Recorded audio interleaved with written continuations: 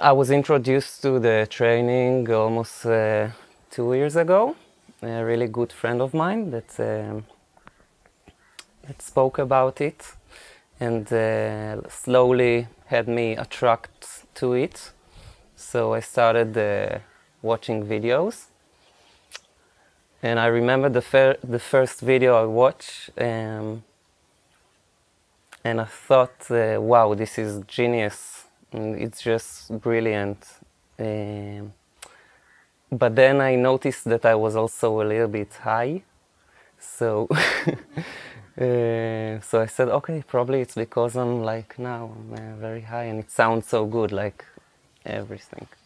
But then I, uh, I kept going back to it because I recognized this attraction which I couldn't uh, explain. And yeah, it was a slow process for me. Uh, like uh, every time I started to do more, uh, to be more interested, started to join uh, the community clarity calls and to join uh, face-to-face meetings in Israel.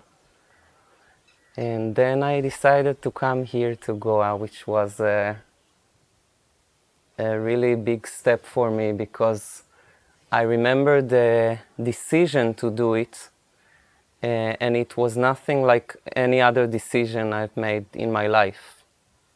Because all my other decisions took so many preparations before I took them, and so many thinking and uh, digging, we say in Hebrew.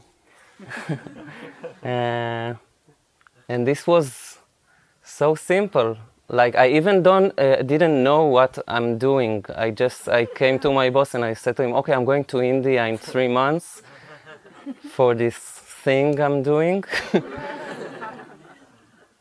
And yeah and and suddenly i'm here with not a lot of uh, thinking just came uh, very open.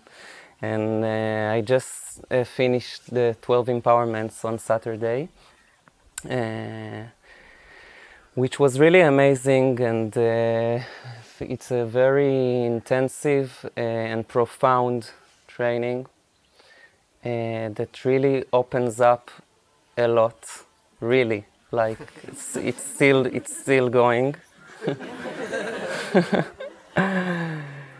and I'm sure it's just the beginning. It feels like this. Um, and yeah, it's really um, like the main thing that I can say that is very clear to me is that uh, I can give up the storytelling, uh, which was a really a really present uh, part in everything that I did in my life, like to tell the story and see how this adds to the story of my life. And most of the time, it just had no sense. Like it made no sense. Um, like I could go through this experience and then see, okay, so let's how how can I how can I integrate it to the story of my life and it was such a hard uh, work to do it. Uh, yeah, and it's really relaxing to know that uh, uh I, I don't have to work really. It, it just it just feels like this. It just feels like like um, like finish a day at work. so it's kind of similar. The feeling, the sensation that oh, it's it's over, but like million times more releasing and um, and I really do feel that I have um, energy uh, that that really um,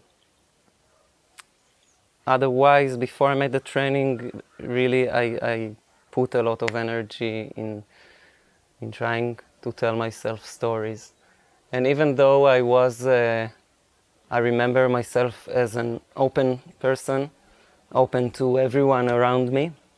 Um, still, I, I always had the feeling that I have to maintain it somehow, to maintain this ide identity of being open and uh, and it was also a lot of work. Like being open is very natural, but trying to maintain it and see every time when I'm in, when I interact with someone to see, okay, am I open now?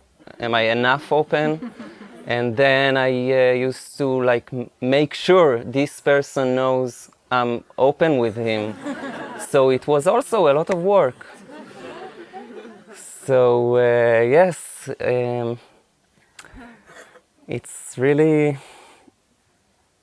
amazing, and I'm grateful to to have met this training, this beautiful um, um, support network of the four mainstays. Uh, yeah, and it's amazing to be with you, all of you. So uh, thank you.